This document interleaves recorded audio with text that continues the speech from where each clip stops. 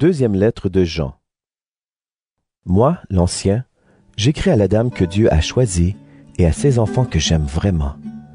Je ne suis pas le seul à vous aimer, il y a aussi tous ceux qui connaissent la vérité.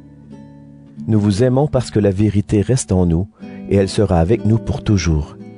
Que Dieu le Père et Jésus-Christ, le Fils du Père, nous donnent bénédiction, pardon et paix dans la vérité et l'amour. J'ai été très heureux de trouver que certains de tes enfants vivent dans la vérité, comme le Père nous l'a commandé. Et maintenant, chère dame, voici ce que je te demande. Aimons-nous les uns les autres. Ce n'est pas un commandement nouveau que je t'écris ici. C'est le commandement que nous avons depuis le début. Aimer, c'est vivre selon les commandements de Dieu. Et voici le commandement que vous avez entendu depuis le début. Vivez dans l'amour. Beaucoup de menteurs sont allés partout dans le monde. Ils ne reconnaissent pas que Jésus-Christ est vraiment devenu un être humain. Ces gens-là sont des menteurs et des ennemis du Christ. Faites attention à vous.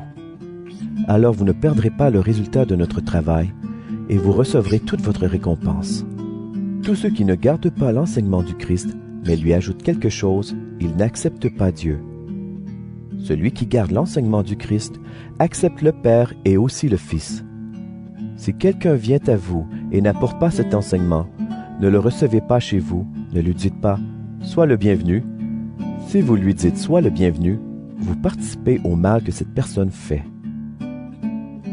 J'ai beaucoup de choses à vous dire, mais je n'ai pas voulu le faire avec du papier et de l'encre. En effet, j'espère aller chez vous et vous parler face à face pour que nous soyons parfaitement heureux. Les enfants de ta sœur, celle que Dieu a choisie, t'envoient leurs salutations.